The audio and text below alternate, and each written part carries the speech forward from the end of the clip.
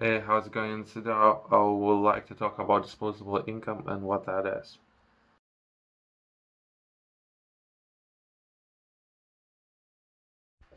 Disposable income is the amount of money that an individual or household has available for spending and savings after tax and other mad uh, mandatory deductions uh, have been taken out. It represents the income that is left over for discretionary use after all necessary expenses such as taxes, rent, or mortgage payments, utilities, and other essential bills has been paid.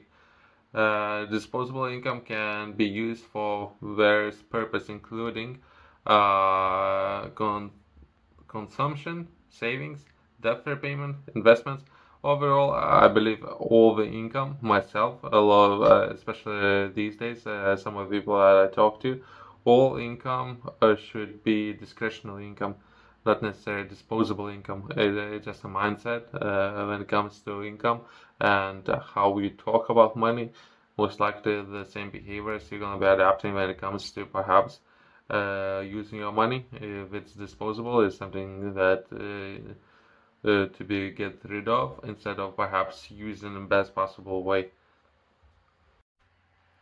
Uh, some of the uses of overall capital that you uh, receiving every month that would be instead of using as disposable capital perhaps you can use it as emergency fund building and maintaining an emergency fund uh, should be at your top priorities when it comes to financial use of overall capital. This fund can cover unexpected expenses such as medical bills, uh, car repairs, or job loss. In case you would lose your job, I would definitely recommend it has at least uh, six months of saving uh, uh, for a rainy day without resorting to, to a high interest debt.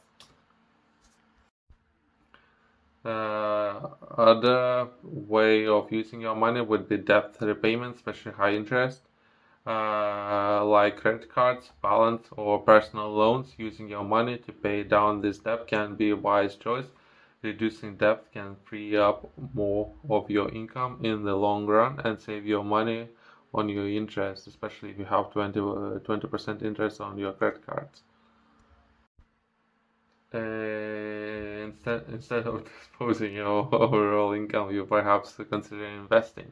Consider investing your money in assets like stocks, bonds, or real estate property, or invest uh, investment have the potential of grow over time and provide you with additional income or capital uh, capital appreciation.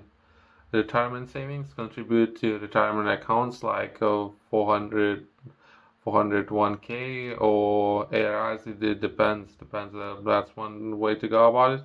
And, and overall, uh, if perhaps the best investments overall, where to begin would be perhaps investing in overall yourself and overall education.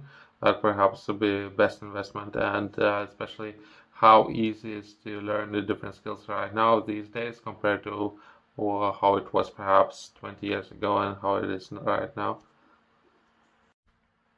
Uh, let me share you a quick story with you. I recently been uh, on the conference call. We were discussing different topics. One of them uh, were currently uh, the way how people uh, taking notice of slowing down of economy and how they managing their overall capital. And I've been on the presentation that was prepared here in UK and uh, how the different companies, non-profit companies, look into perhaps helping people. And uh, they had a bunch of numbers how they're going to be helping a lot of groups of people.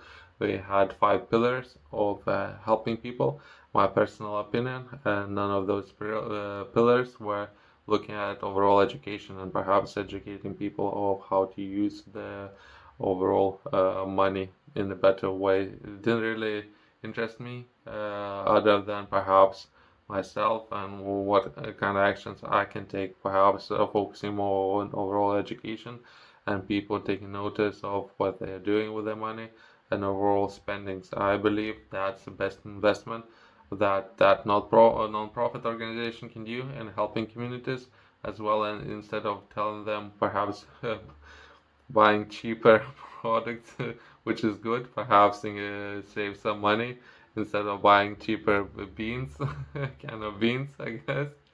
Uh, cheaper brand that's one way to go about it. Perhaps overall savings and perhaps how people think about money and overall education that would be perhaps best investment. I did uh, raise my concerns about overall their approaches that they currently have but it's all what we can do i guess uh, healthcare and insurance. Ensure that you have adequate health insurance and consider other insurance policies like life insurance and split insurance. Protect yourself and your family from unforeseen events. Home ownership by buying a home can be a good investment, but it's essential to evaluate where it aligns with your long-term goals and financial situations.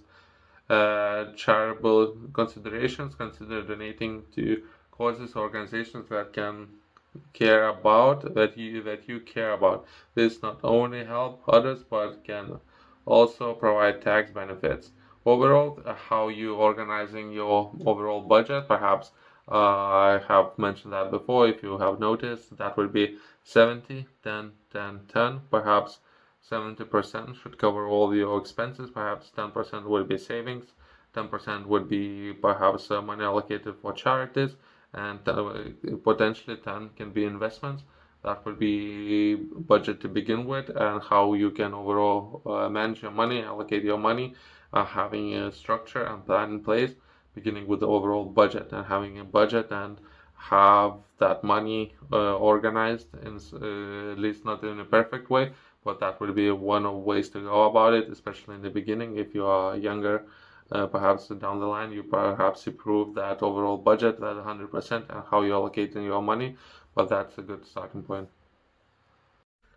Uh, business ventures if you have entrepreneurial spirit, uh, aspirations or spirit investing in small business or startups can be an option. Throughout it involves uh, do your own research since that might involve a lot of risk I have noticed that a lot of people are talking about uh, initial coin offers, uh, initial public offers that you can find a lot of perhaps opportunities that might be uh, within your risk tolerance.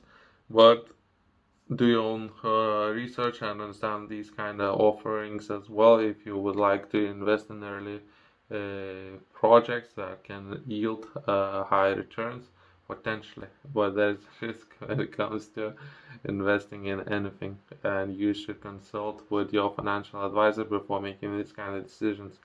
Uh, personal uh, personal development I would uh, definitely highlight that. It's one of the best investments that you can make especially in the beginning. And from there perhaps consider other investments down the line uh, recently, I have published a book. Name of the book is Game Strategy. Uh, would highly recommend for anyone to read it. Uh, I have done a lot of research already, as well as I'm sharing a lot of information to others of how to start a business, how to run the business, and uh, some of the strategies and ways to think about it that I believe uh, can offer a lot of value for anyone who is interested in this kind of area uh, especially uh, if you're just starting out. Some of the concepts that I'm using, that's something that I'm interested in. It uh, would be games and perhaps that particular industry for people who perhaps uh, grew up with video games. And uh, yeah, some of the concepts are very easy to understand and adapt from the basic to very advanced concepts overall. Uh, if you would go to a link in the description, you would find uh, this book on my company's website as well as the top retailers.